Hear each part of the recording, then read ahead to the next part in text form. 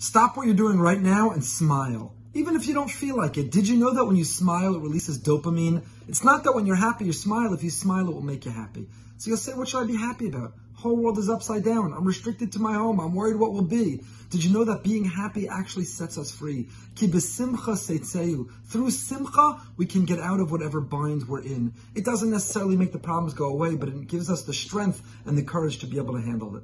Pasuk says, V'hayisa ach sameach.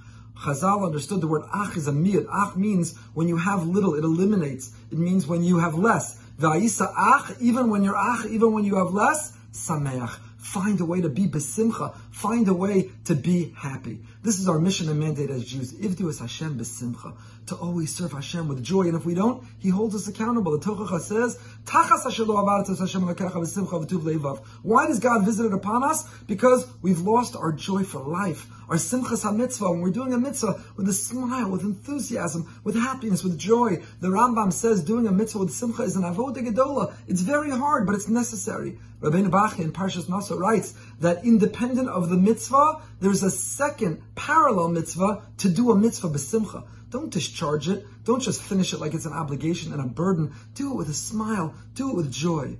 Chassam Sofer says something amazing.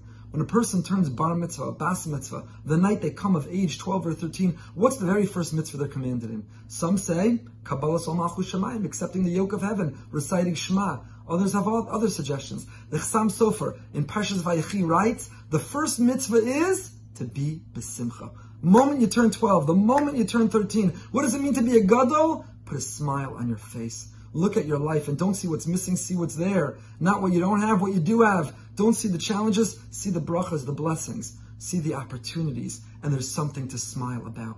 Harvard researcher Nicholas Christakis proved that just like when one person yawns or sneezes, it's contagious and causes others in the room to yawn or sneeze, when one person smiles, it makes other people smile. Put a smile on your face. Your face is a Rishus Rabim. It's a public place, even when you don't feel like it, because Besimcha Seitzayun, it'll take us out of our problems. Ach Sameach, even when we have less, if we smile, we'll feel like we have more. Be Besimcha, be joyous today and every day.